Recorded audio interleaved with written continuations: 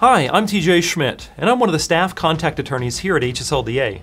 And in this video, I'm going to give a quick overview of the legal requirements for homeschooling in New Mexico.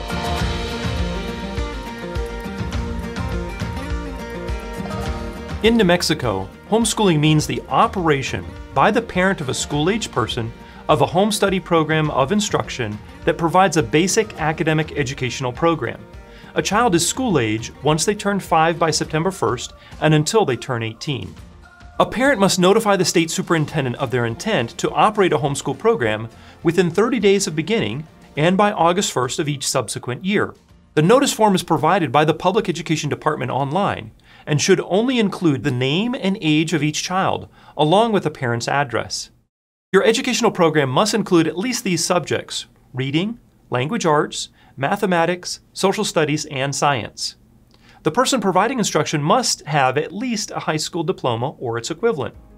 If you want more details about the homeschool requirements in New Mexico, we've created a series of articles covering everything that you need to know. Just follow the link below to get started. Thanks for watching and happy homeschooling!